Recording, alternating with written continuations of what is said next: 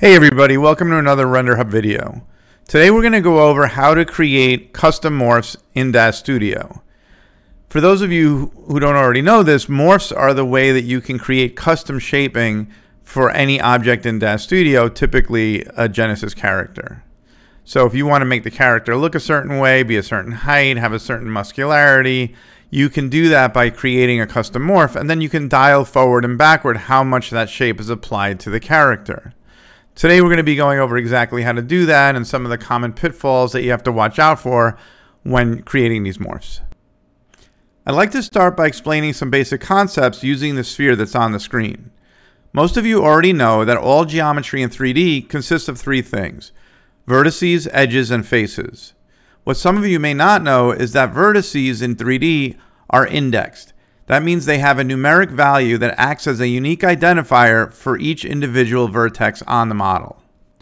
The reason why these indexes are so important when talking about morphs is because DAZ Studio uses these indexes to make sure the vertices move to the right position when your morph is applied. So if this vertex right here has to go somewhere up here when you apply your morph, it's this index identifier that makes sure it goes into the right position. The reason why it's important to understand that is because if you do anything to this model when creating the morph to cause the indexes to reorder or delete some of them, you essentially break the chain and the morph will not work when you bring it into DAZ Studio. So let's say I wanted to morph this sphere into the shape of a pear. I have the pear shape imported as wireframe geometry just to illustrate how this works. So since I created the pear shape from the sphere itself, the number of vertices match and the indexes are in the right position relative to one another. That means when this vertex needs to go up here to become the pear shape, those numbers match and it knows that it should go there. Meaning if this vertex is number 37, where it has to go on the pear is number 37. So when we apply the morph, you'll see that the sphere smoothly finds its way and all the vertices know where they need to go.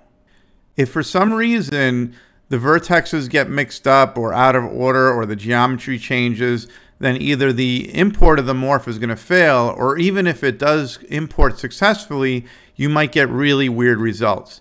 I can show you an example of this. Let's put the shape back to the sphere. And this is an example of bad geometry. And as you can see, it just completely messes up. So the important takeaway from all that is that when you export this model into whatever software you're going to use to create your morph shape, you should not do anything that's going to alter the vertex order like remove faces or use any mirror modifiers because that will cause the vertex order to become out of sync with the original model that you're going to apply the morph against back in DAZ Studio.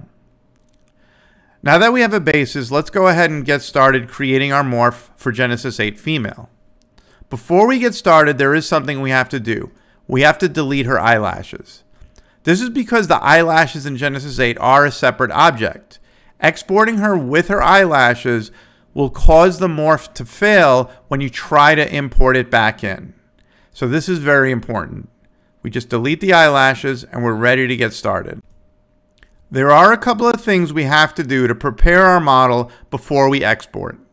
The first thing that we have to do, and this is very important, is we have to set our mesh resolution to base. If we forget to do this, then you will not be able to re-import the model after you've done your shaping. You also want to make sure that the navel is set to zero. If you don't do this, then it's going to apply the navel twice if somebody uses your morph and then applies the navel. This should be a separate independent control, and you don't want it to be part of your morph. So now that we are at base and the navel is, is turned off, we're ready to export our Genesis female. Now I'll be doing all of our shaping using external software. For this video, I'll be using Blender. But you can do shaping from within DAZ Studio before you do the export if you wish. To export, you go to File, Export. Let's give our file a name and hit Save. Now this part is really critical. You want to select a preset from the export options. I suggest using Poser. Don't change anything here. And what's important is when you import this back in, you have to also import using the same preset. This ensures that your scaling and other options match on the way in as they were on the way out. This is really important. So now let's import our model for shaping. Go to File, Import, OBJ. Here's our model. Now this part is very specific to Blender, but it's an important part of the process. Blender, by default, will try to split my model by object and group, effectively changing the geometry and changing the vertex order. If the software you're using for shaping will do something like this upon importing, you have to make sure to deselect those options. So for Blender, we're going to uncheck split by object and split by group, hit import, and here's our Genesis model ready for shaping. So now I'm going to do some basic sculpting to our character so you can see the change when we import her back into DAZ Studio as a morph. I'm going to make the hips a little bit larger and make her waist and chest a little bit smaller so we can see the changes when they get applied. Obviously, the sky's the limit as to what you can do here, and once you have the shape that you're going for, you just want to export her back out as an OBJ file. We're going to call this file out. And that's ready to be brought back into DAZ Studio as a morph. So now here we are back in DAZ Studio, and we're going to load our morph file into Genesis 8 Female. Make sure to select Genesis 8, and you want to click on this icon to open the Morph Loader Pro. Once you have this window open, you want to click Choose Morph Files, select our out file that we created and hit Open.